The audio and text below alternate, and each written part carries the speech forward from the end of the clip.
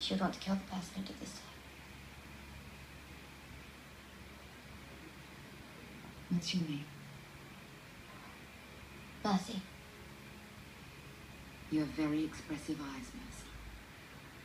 Wonderful eyebrows. Do you like pretending to be other people?